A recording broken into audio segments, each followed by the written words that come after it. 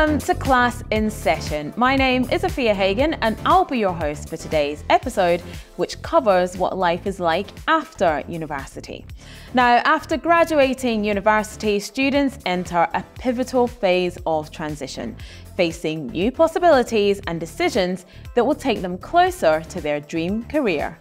You may have to navigate career options, putting your learning into practice network to find the opportunities, or further fight your inner critic that may crop up when new opportunities arise. It's a time of both excitement and uncertainty as you begin to contemplate your next steps in the professional world. Now, I'm going to speak to Georgina, Betsy, and Tru, and I'm going to let them introduce themselves. Georgina, you first. Hi, I'm Professor Georgina Harris. I'm the Dean of STEM here at Arden University.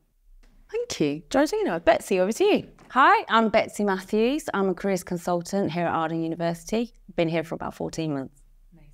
Tru, over to you. Thank you. Hi, my name is Tru Powell and I am an entrepreneur. I am the CEO of the Black Business Magazine. I also won the Inspire Award and I help entrepreneurs with their personal branding and visibility. Amazing. Guys, it's great to have you here. Betsy, I'm going to come to you first.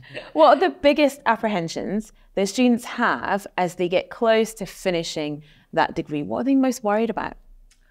I think what they're most worried about is is the job at the end. You know, they focus so much that they've had this journey of doing the qualification and everything's quite structured, and then suddenly it's so and so has been offered a job, mm. um, and it's kind of just thinking, what am I going to do now? Have I done enough? Have I got the right skills? Have I got ex- enough experience? And it's it's just everything coming to to the surface. And mm. he said there's quite a lot of apprehensions, if I'm honest.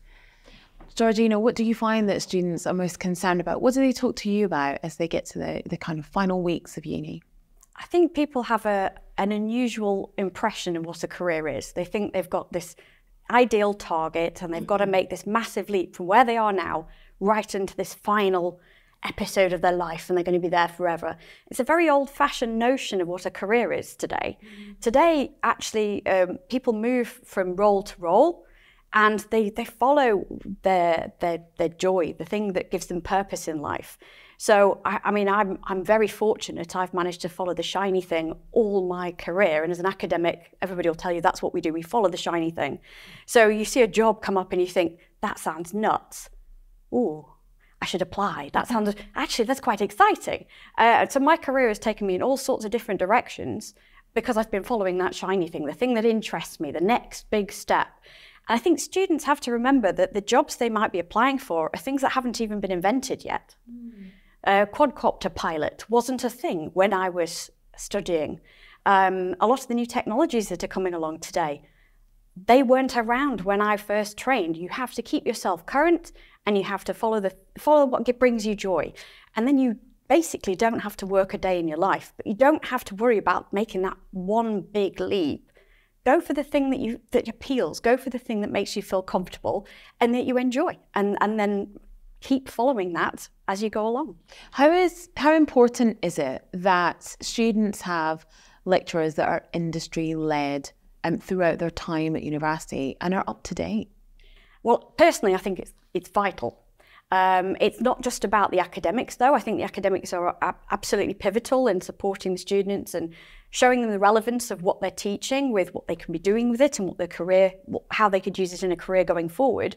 But it's also about the engagement that the academics have with the wider industry around them. So, you know, we we're getting older as well. It's really important that we continue to talk to industry about what's now, what's next, what's the big shiny thing that's coming down the tracks. So we're not preparing our students for the jobs that are just in the jobs market now. We have to be preparing our students for the jobs that are just around the corner. And we can see them, we know they're there. We might not know exactly what form they take, but we have to be preparing them and giving that them the, the skill set that will enable them to engage with those jobs going forward. Mm. So I think it's, it's not just about the academics, it's about the structure and nature of what we do here at Arden University, which is not just the academics assuming that they know everything, but engaging with that wider community around us. And we're very fortunate that we've got these wonderful campuses so we can engage with the industries around each of our campuses. And that gives us an even broader picture of what we should be doing for our students.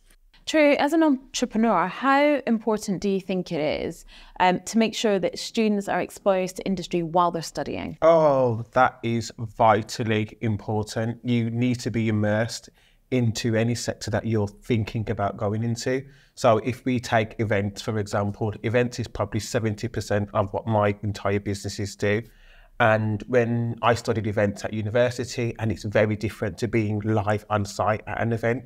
And we've we have quite a lot of students come and experience um, the events with us, and their eyes are open. They're like, "Wow! Like it's fast paced, it's busy, it's stressful." A lot of the things that are not taught um, as part of the degree with that real life experience. So my advice to anybody is, if you can, get real life experience and have a taste about what real life will be in that industry, then embrace it with both hands because it's going to be so, so valuable.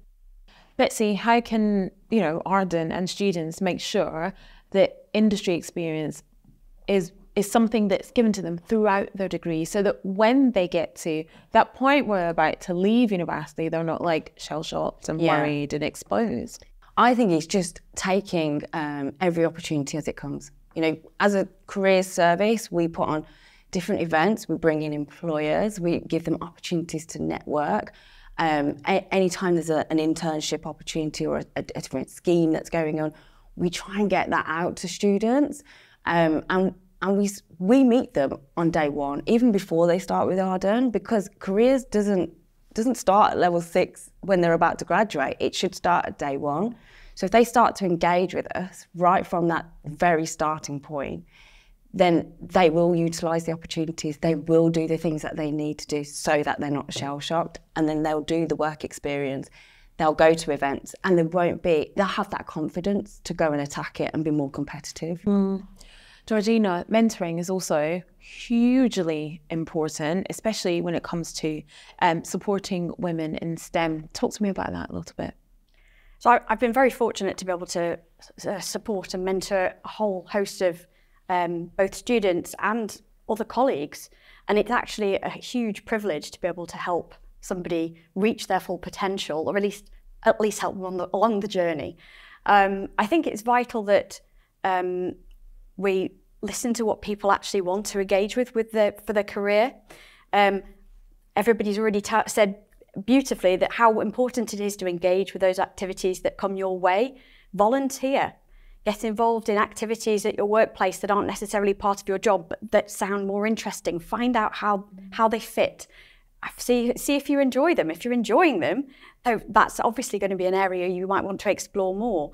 Um, I also think it's a bit of a, a false dichotomy these days. That's the idea that there's university and then there's a great moment and then we go on to our career. Actually, for most students these days, this is a, a lovely networked hybrid uh, journey where you've got a mix of both going on all at the same time. Um, and obviously, as academics, we try and bring that into the classroom for you as well. So, um, bringing in real life briefs from uh, from industry around us, allowing um, industrialists to come and give you feedback during your uh, coursework and your uh, major projects. Um, it's amazing. There's, there's a certain way as an academic we like to give feedback and we like to be supportive and nurturing, but there's also a huge advantage to letting the fox see the rabbit by bringing in an industrialist who will just tell you what they think of your project mm. and whether you think it met the brief and whether they would or would not be keen to support the project going forward. And that's an experience that, as an academic, um, no matter how hard we try, they don't. Our students don't necessarily believe us. It's a, but it's a really lovely, rich experience for the students to actually experience that, as you described, Tru, um, and um, to be there to support them in trying to make sure. Well, the next time we're presenting to that industrialist, we're going to make these changes, and then you can show that you have done that and you've you're able to convey that perhaps more effectively next time. Mm-hmm. So that mentoring and coaching, again, it's not a standalone thing. It's throughout the qualification. It's throughout your time out in industry. Um, and you're a very lucky person if you get a bit of a bit of both, a bit of support yeah. and mentoring both from industry and from academia, and that that gives you a much um, much richer experience, and you're better prepared really when you go out and you you you do take a next step and you go on for it from from career to career to career. It's an added tool, mm. isn't it, in your in your sort of armour? You've got something there to support you, and I think when you have a mentor, um, it's taking away that comfort blanket in a way as well. Because as you say, your lecturers can be more supportive and nurturing and coaching, but a mentor can be like, well, I'm in industry mm. and this wouldn't cut it. Or, you know, you, you need to go away and, and try again. And sometimes, like you say, they need that that real sort of rawness um, where the stakes are a little bit higher. And I, I would say I'm big on mentorship. For me, a mentor was vitally important because success leaves clues. Why would I do it all again on my own in the dark, not knowing where I'm going, not knowing what to do, and fail a million times when I can engage with a mentor who's done it already, who's very successful, and who can impart much needed knowledge to help me on my path to success. And when we speak about mentor, mentors, we often speak solely about human beings, which is great, but we need to remember that mentors can come in different guises. You know, you could have get knowledge and mentorship from a book, you know, and I have done that many times. There's a book that I always read that's almost like my Bible in, in business to what I do. You know, there's podcasts now, they're on the rise. You can get so much knowledge, especially from those people who deliver content, content weekly about business and about guidance and about different areas of business. You can engage with their content and they will give you weekly hints and tips. My advice to anybody is really think about mentorship, but approach everything with discernment. Do your due diligence. If you are engaging with a mentor, make sure that they do what they say that they do because believe it or not, there are some people out there that claim mentorship and haven't actually done what they say they that they do. So make sure you do your due diligence on the mentors and make sure you are you, you know you approach everything with discernment. Betsy, how can students and how can Arden help students find mentors? I mean, Tru's made some really good points about podcasts and books and things like that. But what if somebody wants to engage with someone who's in their industry, who's, you know, 10 or 20 years down the road? How can um, they find that person? How can Arden help them find that person? I mean, if they want to do it informally, I'd start to just look at their own sort of network. Who do they know? That's always the best starting point. Family, friends, and then who do they know? Who do they work for? Can they put them in touch with somebody? You know, it doesn't have to be the CEO of a massive corporation. You know, it can be a small business owner where they're just going to learn some small steps. But as a starting point, if if they don't know where to go, I would always say, come to us. You know, we have um, lots of career experts that we can put them in the right direction. We can tailor that support. We can talk to them one to one to see what it is they're trying to get out of a mentor and just get them started. LinkedIn's a great starting point as well. Um, I would, I, that's the first thing I tell students. You know, you need to get on there. You need to start communicating with the people that you want to be associated with, the people that you want who you want to work with in the future and build up that commercial knowledge, it, your awareness, because that's kind of like your secret weapon. Mm. If you mm. don't know anything about that, you know, industry you want to work in, you're not going to be able to seek the opportunities. You're not going to be aware of them. Mm. Now, Georgina, do you think that it mostly falls to academics to make sure that your students are career ready and industry ready? I don't think it's the exclusive role of, of the academic team. I think obviously we, we're invested in our students. Um, I have to say, after the length of career I've had, there's nothing there's nothing makes you prouder than seeing a student who's surpassed you. done an amazing job at that. And they're in the career they've always wanted, and they've got this huge grin on your face, and you think, had something to do with that. It makes that you so me. proud. Um, but I do think it's um, you know, the, it's the old it's the old idea of a, you know a, a village educates a young person. It's not just the academic role; it's a community's role. So um, I would say things like our professional bodies. So here at Arden, for people in my faculty, we pay for you to be a member of a professional body. That's a community of practice. So you're working with professionals that are early stage careers. They might be retired, anything in between, lots of different industries. It's an opportunity to explore what you what what fits for you, what might be the next step for you. And it's a group of people who are volunteering. They've got a bit of time. They actually are find it really nice to be asked I would like you to be my mentor. It's a bit of a, oh, that's, that's, isn't that nice? I've been asked to be a mentor. So um, find those communities of practice around your discipline, around the areas you want to go into, and be cheeky. People actually um, really enjoy the idea and the ability to pass on the, what they've learned, pass on their expertise and their experience to people. Um, take advantage of that.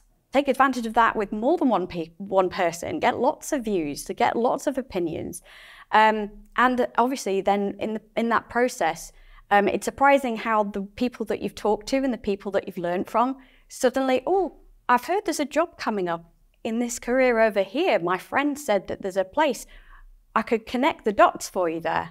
So you're already building those networks, building those pathways for yourself in the future. Um, and the PSRBs are not the only one. The professional statutory bodies are not the only ones. Um, I'm in a women in motorsport community. Um, you can go and do marshalling, engineering, uh, sports science. There's all sorts of things available for each of these communities that you never really knew was there. Mm. Um, and the only disappointing thing, I think, I, I'm sure everybody around the table has got the same experience. I wish I'd known this 20, 20, 30 years ago. I was just thinking that about myself, actually. I think I wish when I was leaving university, sort of like, you know, 500 years ago, that I had thought about professional bodies and had better mentorship because it's so important to get good advice, isn't it, Tru? Mm, oh, 100%. I think. And good career advice. Good career advice is really important, especially when you are starting your career because it's so easy to make wrong turns. Mm. It's so easy to make mistakes. And I'm not saying making mistakes is always a bad thing because we learn from those mistakes, right?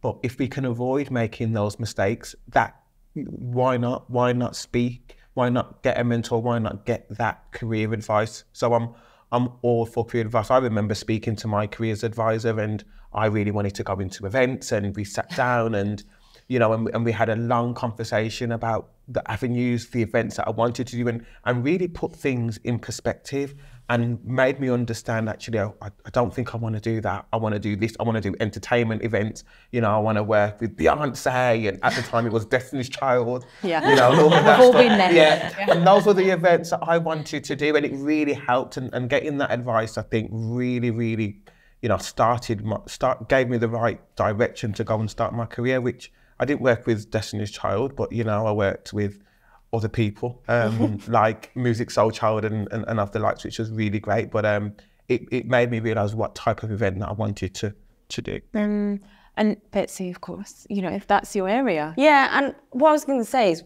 part of my job is actually opening students' eyes and, mm. you know, because mm. there's lots of misconceptions. Mm. You know, mm. people, come, they, they start up with a degree and they think they're going to go on to this job or, you know, and sometimes it's like saying, what do you know about that job? Mm. What do you know about that career? You know, what research have you done? And then, you know, we can help them to kind of actually unpick whether it does align with their values, whether it aligns with their motivation. Yeah. Is that the role they want to do? Mm. And I think as well, it's sometimes managing students' expectations. expectations key. Because when I left my uh, degree in journalism, I was convinced I was going to be reading the 10 o'clock news the day after my graduation.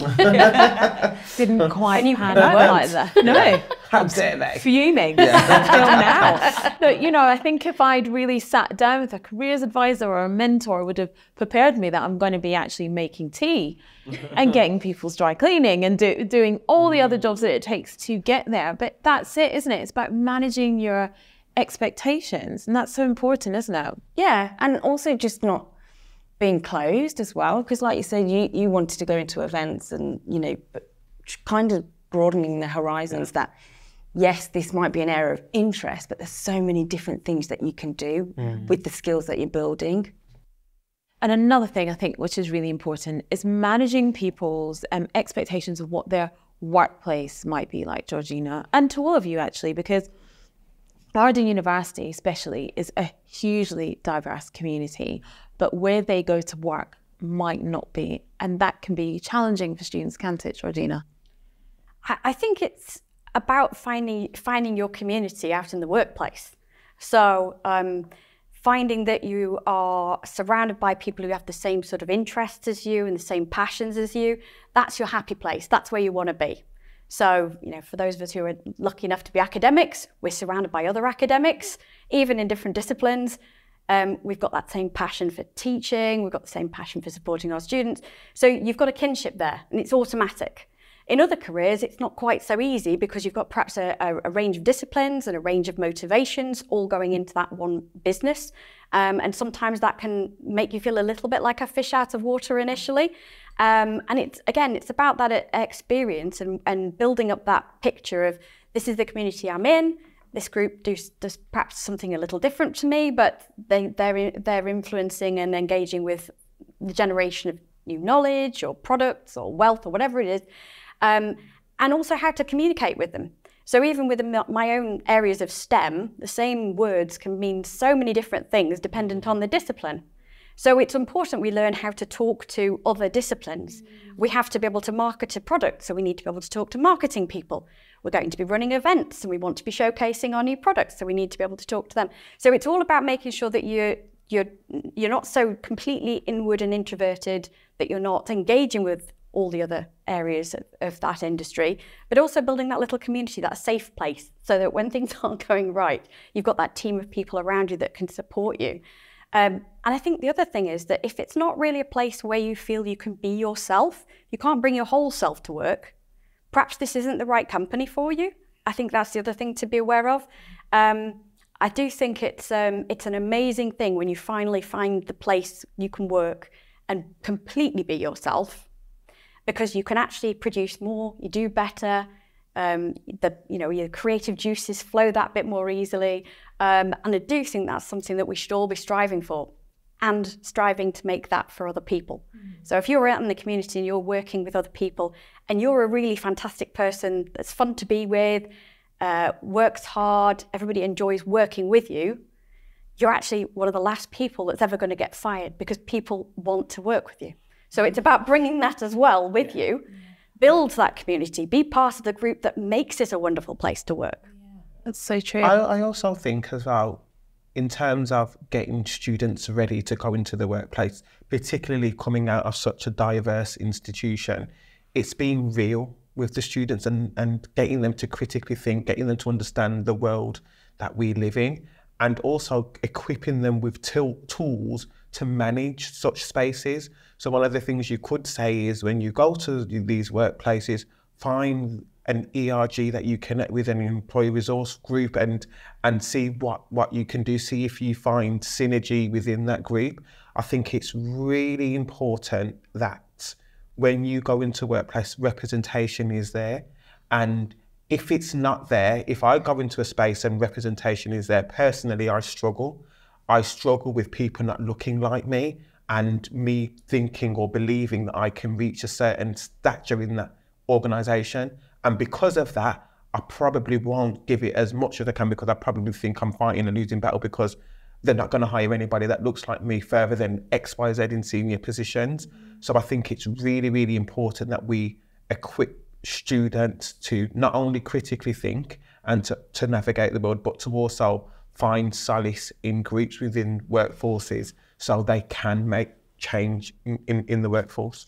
And Betsy, how is Arden University supporting to do that, to make sure that, that students are ready?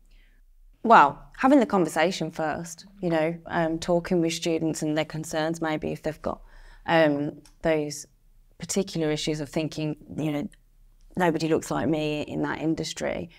Um, we're also, we promote a lot of internships as well that, you know, we've got the um, 100 uh, black interns, we've got, uh, we do a lot of work with access participation. So it's all those different smaller minority groups where we're really trying to um, get them work ready, um, get more exposure to to those industries so that they can actually be more confident and attack it. You know, and actually be proud. You know, mm. I went to school and I was probably one of the only brown faces. I went to a Catholic school and, you know, it was in a middle class white area, but, you know, I owned it. Mm. It, it, didn't come naturally yeah. to start with.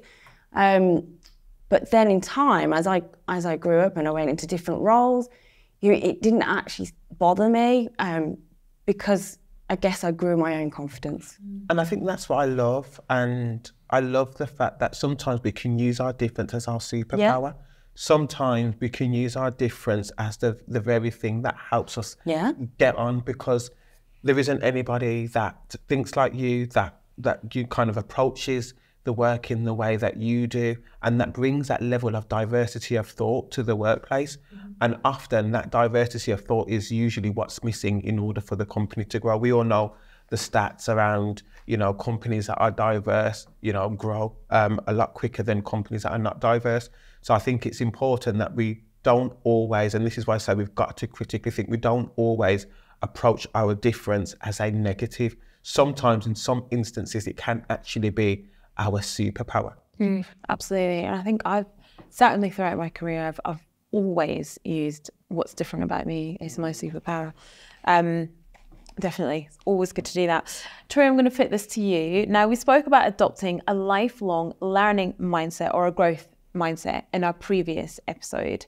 Um, does this play an important role post graduation as well? Oh, 100%. And you couldn't ask this to a better person. I am a believer of having a growth mindset.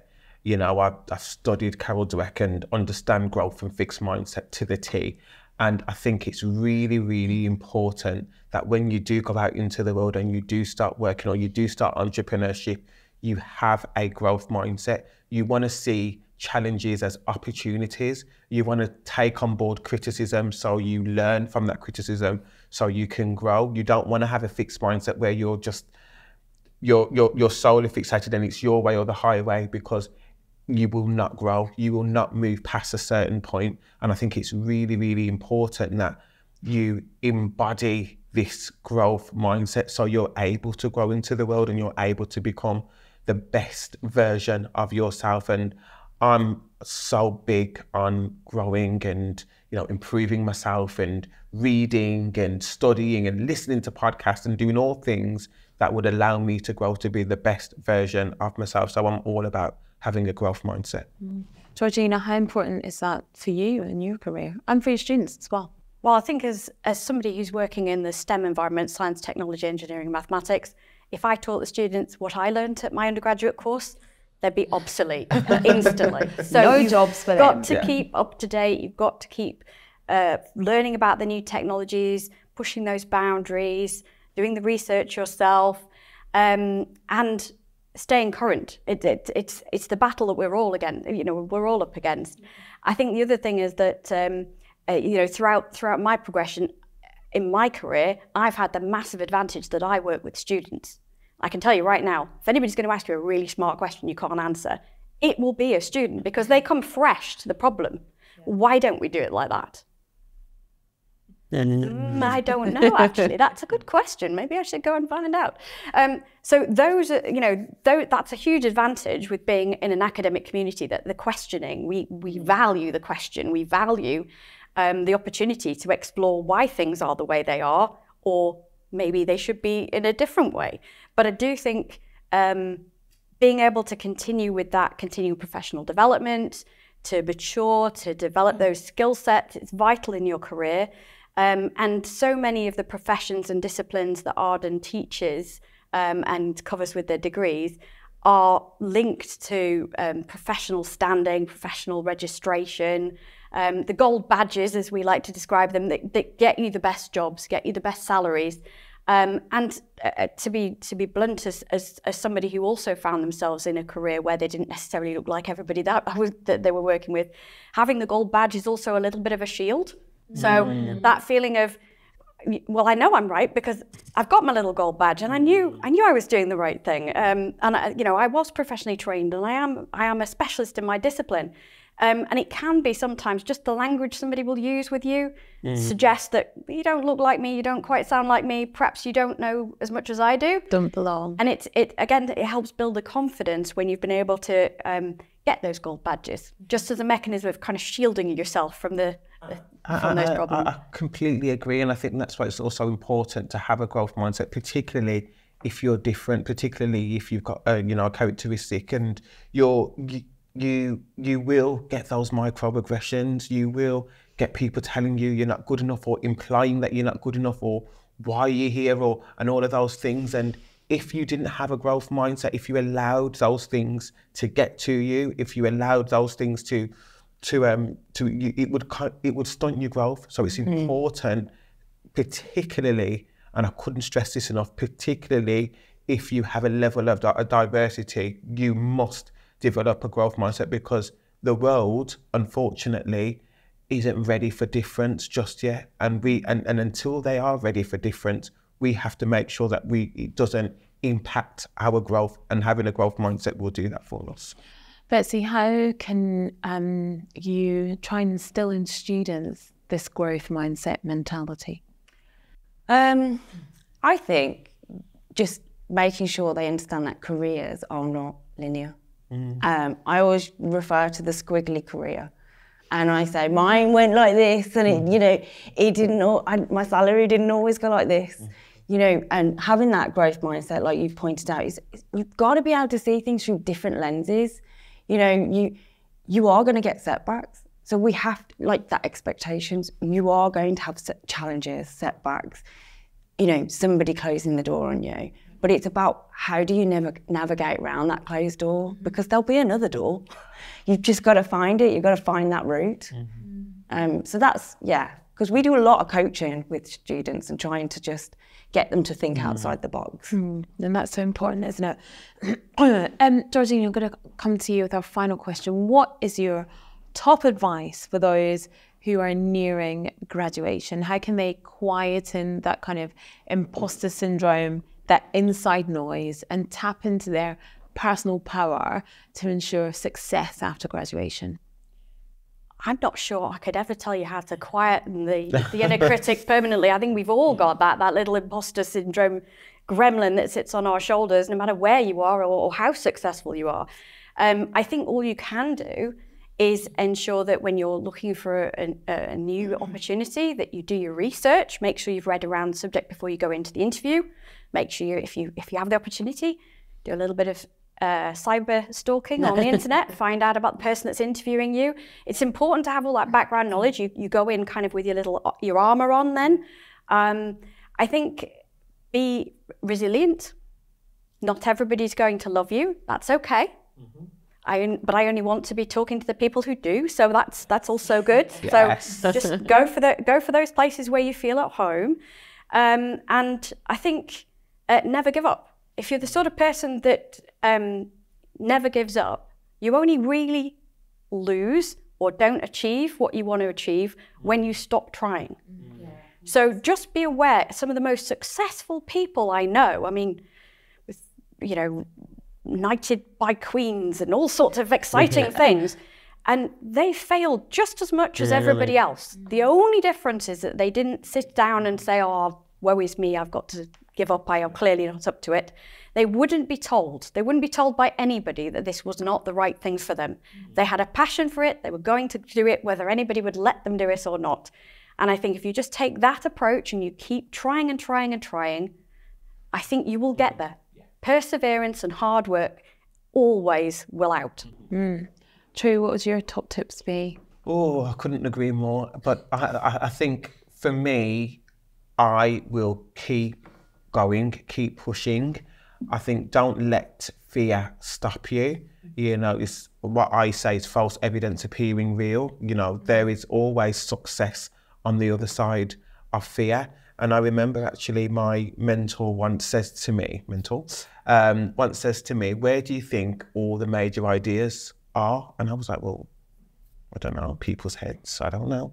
And he was like, no, they're in the graveyard. You know, people actually die with their ideas because they're too scared to actualize them. They're too scared to go forth with them. And from that day, I was like, no, that's not going to be me. Like, I'm going to try every single idea that pops into my head. And I've probably had about 30 businesses, you know, you know, some failed, some successful. But for me, it's important that I tried and that I haven't stopped going and I haven't stopped beating the drum because, you know, success lies on the other side of fear. And if you keep pushing and if you want it bad enough, then you will, you know, you will get that level of success and you will get the career that not only that you want, but that you deserve. So um, just keep pushing. What was your top tips be, Betsy? Uh, I think I would say stay in your own lane. Like quieten the noise Yes. around you because it doesn't matter what they're doing or Sally over there is doing. It's it's about what you want, what's important to you, what you want to get out of life. And then you w- won't be scared of fear because you won't be too busy looking at everybody else. Stay in your own lane. I'm going to take that one for myself. You can have actually. it. thank you, Betsy. I needed that advice. Um, and Georgina and Tru and Betsy, thank you so much um, for sitting down with me to discuss this episode, um, focusing on lifelong learning and time after university, which can be scary. Um, but I think we've got lots of tips from you guys on how you can really excel, growth mindset, staying in our own lane, seeking mentorship, professional bodies, everything. Guys, thank you so very much for all all that information you've given us. Thank you. Thank you. Now, regardless of where you sit in your journey, we hope the Class in Session series has inspired and shown that you too are more than capable of reaching the career of your dreams. If you want to listen to all our other episodes or wish to save them to re listen to another time, please visit Arden University, Spotify, or YouTube. This has been Class in Session.